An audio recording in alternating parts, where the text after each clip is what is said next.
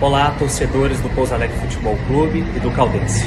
Sou Cadete Dumont, do 20 Batalhão de Polícia Militar e hoje tenho dicas de segurança para você. Se você já adquiriu o seu ingresso para a entrada no jogo, lembre-se de verificar qual portão a sua torcida entrará. Se estiver levando crianças, lembre-se que é muito importante identificá-las com o nome e com o telefone do responsável legal. É importante dizer também que para a entrada dentro do estádio não são permitidas garrafas, objetos pérfuro-portantes ou qualquer objeto que ponha em risco a segurança de todas as pessoas. É importante também dizer que hostilidades não levam a lugar algum. Você deve se afastar de problemas e também de qualquer briga que ocorrer dentro do estádio.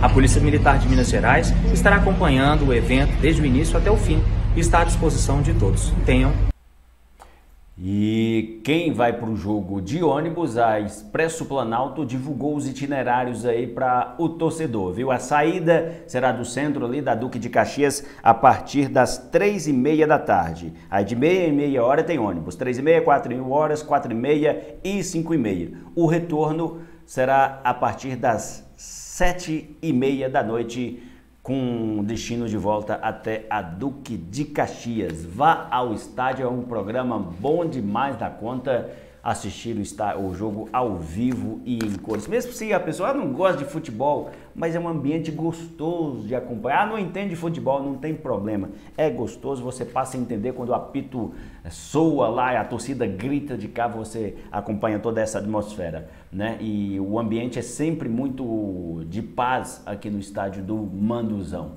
Nunca vi nenhuma confusão no estádio Manduzão desde que o Pouso Alegre voltou em 2018. Famílias inteiras, crianças. Então, se tem oportunidade, vá. Mas ingressos amanhã só na bilheteria do Manduzão a partir das 9 da manhã, se ainda tiver, viu?